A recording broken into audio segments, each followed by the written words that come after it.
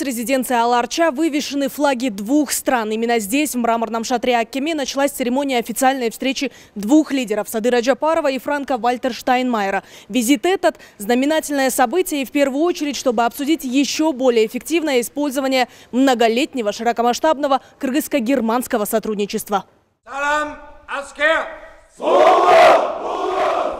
Кыргызстан готов к совместной работе с Германией. Чтобы наполнить отношения конкретным содержанием, предлагает европейским партнерам участие в проектах. И в первую очередь в сфере развития возобновляемых и экологически чистых источников энергии. К слову, за все годы сотрудничества в Кыргызстан из Германии поступило порядка полумиллиарда долларов прямых инвестиций. Мы со своей стороны готовим э, соответствующие Э, наши инициативы, идеи, проекты. А в агросекторе есть хорошие проекты, потому что на сегодняшний день Кыргызстан является э, экспортером таких органических продукций. В то же время мы готовим проекты в части энергетики развития, потому что на сегодняшний день Германия тоже является активным участником, и они тоже заинтересованы в развитии зеленой экономики. И в то же время мы готовим проекты, связанные с туризмом. Переговоры двух лидеров Садыра Джапарова и Франка Вальтера Штайнмайера стали хорошей возможностью для детального обсуждения кыргызско-германского сотрудничества. И оно расширяется. Визит президента Германии, как отмечает Садыр Джапаров, только подтверждает готовность активизировать взаимодействие с Кыргызстаном. Кыргызстан выступает за поддержание активного сотрудничества с Германией, э, являющейся, на наш взгляд, безусловно, одним из государств-лидеров не только в Европе, но и в мире. Э, Германия, благодаря своему политическому авторитету и экономическому потенциалу, э, является примером для многих стран мира, в том числе и для нас. Мы разделяем демократические ценности, основополагающие свободы и права человека, э, которые также высоко ценятся в Германии. Для нас весьма важна дальнейшая поддержка Германии – в демократическом развитии страны, э, построении сильного гражданского общества и правового государства. Для Штайнмайера это не первый визит в Кыргызстан. До этого он был здесь, будучи министром иностранных дел Германии. И вот что особенно привлекает президента в Кыргызстане. Когда мы ехали к мемориалу от Эбиит, я получил большое впечатление от природы, от этого великолепного вида гор. У меня сразу появилось желание надеть обувь для хайкинга и совершить прогулку в горах. Что касается отношений между нашими странами, то им уже более 30 лет, и они динамично развиваются. Германия и далее готова оказывать всяческую поддержку Кыргызстану, а также делиться опытом в области возобновляемых источников энергии. У вашей страны для этого существует очень хорошие условия.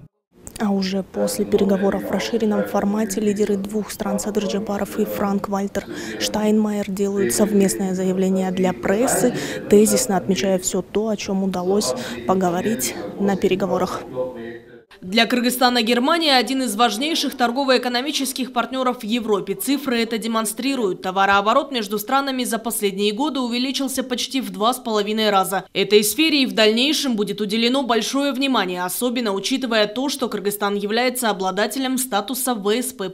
В 2022 году между двумя странами впервые был создан Кыргызско-германский деловой совет – очередное заседание, которое состоится в Германии э, в ноябре текущего года. Мы рассчитываем, э, что работа Совета будет в значительной степени способствовать притоку в Кыргызстан иностранных инвестиций и современных технологий. Ни для кого не секрет, что Кыргызстан является производителем качественной и экологически чистой аграрной продукции – мы уже поставляем свои продукции на европейские рынки. Готовы к расширению сотрудничества с нашими германскими партнерами также и в этом направлении. Об успешном сотрудничестве можно говорить только тогда, когда оно наполнено конкретными проектами и прежде всего в экономической сфере. В этом плане серьезная ставка сделана на Кыргызско-германский деловой совет, очередное заседание которого состоится уже осенью. Именно тогда стороны детально обсудят сотрудничество в экономической и инвестиционной сферах. Это демонстрируют и состоявшиеся в минувший четверг переговоры двух лидеров. Для того, чтобы укрепить двусторонние связи, поднять на новый уровень, необходимо, чтобы наши э, бизнесмены, предприниматели э, установили контакты и реально работали друг с другом. Да? То есть если немецкий бизнес, немецкие инвестиции будут вкладывать в нашу экономику, это, это будет живая экономика, да? то есть живые необходимые условия, чтобы э, эти, э, эта работа, чтобы она давала свой результат. Кроме развития политического сотрудничества, Кыргызстан активизирует и экономическую дипломатию. Отечественные компании принимают участие в международных сельхозвыставках в Германии, обсуждая вопросы налаживания экспорта продукции на германские и в целом европейские рынки. Германия проявляет определенный и постоянный интерес э, продуктам сельского хозяйства, но есть существенная проблема, это проблема связана с сертификацией сельхозпродукции. И в этом направлении э, ведется работа. Э, несколько компаний заинтересовались. И сегодня президент Штайнмайер тоже обещал оказать содействие, чтобы все, э, весь потенциал ВСП заработал, чтобы ВСП помогал развитию нашей экономики. Овощи, сухофрукты и бутилированная вода. Кыргызстан сегодня успешно экспортирует отечественную продукцию в Германию. Объем взаимной торговли между странами по итогам прошлого года составил более 180 миллионов евро. Это говорит о уже новой динамике, интенсивности контактов. Э, мы надеемся, что в этом году мы увеличим и э, этот оборот. Мы получатели преференции э, ВСП+, это всесторонняя система преференций, которая предоставляется Европейским Союзом э, и освобождает от таможенных пошлин э, более 5000 товарных позиций, и это, безусловно, способствует более конкурентоспособному продвижению наших товаров на рынке Европейского Союза. Одна из крупных отечественных компаний уже несколько лет занимается поставкой сухофруктов, а преимущественно чернослива, в европейские страны, в том числе и в Германию. Экспортирует компания порядка тысячи тонн продукции в год орехоплодовых наших лесах имеется много продуктов, начиная от ореха до дикой яблони. Сейчас мы в данный момент э, занимаемся э, экспортом диких продуктов. Это орехи, фисташки, миндаль, дикая яблоня, каперсы да? и э, масло грецкого ореха. Э, в настоящее время мы получили, в прошлом году, в 2022 году получили международный сертификат Евроорганик – этот сертификат мы получили при поддержке Европейского Союза. Этот сертификат дает возможность поиска новых рынков. В том числе вот Германия, особенно Германия, э, потребляет нашу дикую лесную продукцию, э, орехи.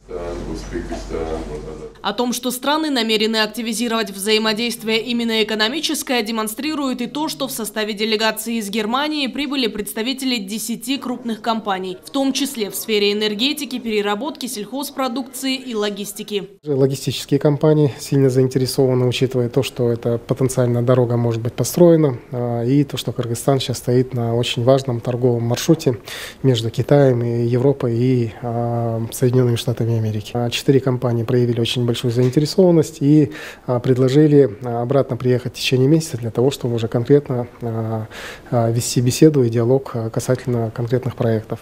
Официальные Бишкек и Берлин отмечают растущий интерес к взаимовыгодному сотрудничеству. Однако нереализованный потенциал двустороннего взаимодействия между странами есть. Лидеры намерены приложить совместные усилия для его воплощения в жизнь.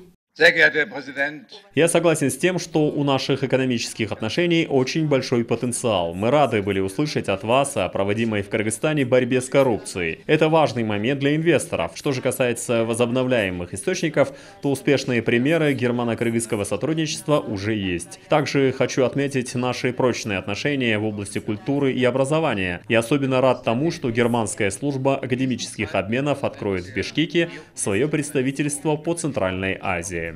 Говоря о перспективных направлениях сотрудничества двух стран, а именно о возобновляемых источниках энергии и зеленой экономике, Садыр Джапаров напомнил, как в начале года им была выдвинута инициатива по реструктуризации внешнего долга Кыргызстана с использованием механизма его конверсии на проекты в сфере зеленой экономики. И Кыргызстан рассчитывает на поддержку Германии в данном вопросе. В составе германской делегации есть э, руководители компаний, осуществляющую свою деятельность э, в сфере гидро и солнечной энергетики, э, с которыми мы заинтересованы развивать сотрудничество. Учитывая гидроэнергетический потенциал Кыргызстана, Мы заинтересованы в развитии взаимодействия с Германией в сфере выработки и использования зеленого водорода. Впрочем, для Кыргызстана Германия – один из важнейших не только торгово-экономических партнеров в Европе. Страны активно взаимодействуют и в культурно-гуманитарной сфере. Макс Майер руководит фондом Ханса Зайделя. Сейчас он оказывает поддержку АГУПКР имени Джусупа Абдрахманова, вузу, который занимается подготовкой специалистов в сфере государственного и муниципального управления. В Кыргызстане Макс Майер живет давно, а чтобы лучше понимать культуру, выучил кыргызский язык. Келечектеги долбоорлор кызматташтык үчүн абдан маанилүү. На данный момент в Бишкеке филиале АГУПКР ВАШЕ по нашей магистрской программе обучается 180 человек. Это молодые лидеры, которые в будущем станут высокопрофессиональными специалистами в госуправлении. За все то время, что существует наш фонд, магистрскую программу и другие краткосрочные программы прошли почти 3,5 тысяч кыргызстанцев. Хочу также отметить визит президента ФРГ Франк Вальтер Штанмайера. Это важное событие и оно только подтверждает, что наши страны становятся еще ближе и расширяют двухсторонние отношения. А в Германии сегодня живут более 10 тысяч наших соотечественников. Один из них – Эркин Карымшакулу. Будучи преподавателем кыргызско-германского факультета Университета строительства и архитектуры, написал и выиграл проект по развитию IT-отрасли, после получил степень магистра и уже пять лет работает ведущим специалистом в крупной консалтинговой компании в германском городе Бремен.